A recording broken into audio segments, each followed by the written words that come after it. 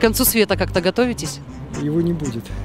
Во всяком случае, если он и будет, то не в таком виде, как его интерпретируют. Может быть, он начнется потихонечку, хотя он уже, наверное, начался. Об этом даже не думаю, просто... А что об этом думать, его все равно не будет. Я все равно умру раньше, чем он наступит, поэтому страшного ничего не будет, это точно. И да, и нет. А почему да? Потому что все об этом говорят, много информации. Всегда надо надеяться на лучшее. Я даже надеюсь, что наш сквер когда-то приведут в порядок. Никакого не будет с конца света. Даже и близко. Будет новая эра всего лишь. В это я верю. Детей индиго очень много рождается. А так, Мы верим в будущее. Насчет конца света. У меня бурильщик на буровой.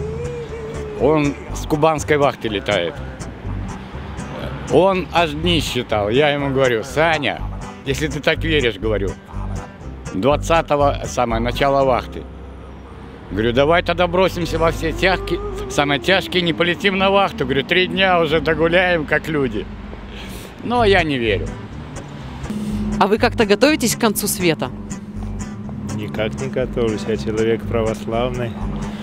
Конец света, если он будет, он прописан, что он наступит во время, неизвестное для людей. К этому надо быть готовым всегда.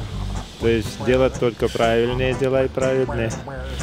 И тогда конец света не страшен, и его быстрее всего тогда не будет. Какой конец света? Это все, ну, зачем нас огорчать? Наоборот, нужно развивать положительные эмоции.